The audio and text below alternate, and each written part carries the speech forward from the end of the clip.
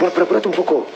Tranquilo, amorcito, porque no quiero que se golpee que una marca. No me llames así. Bueno, ¿cómo querés que te llame? Pipi, pupi, corazón de melón. Un momento de pensar. Ch, Maggie, por favor, acércame que no quiero que nadie nos vea.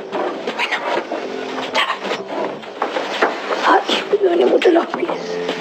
Tenías que ponerte esos zapatos, no podías ponerte otros. Ay, me extraña, Rey. Sí sabes que son parte de mí.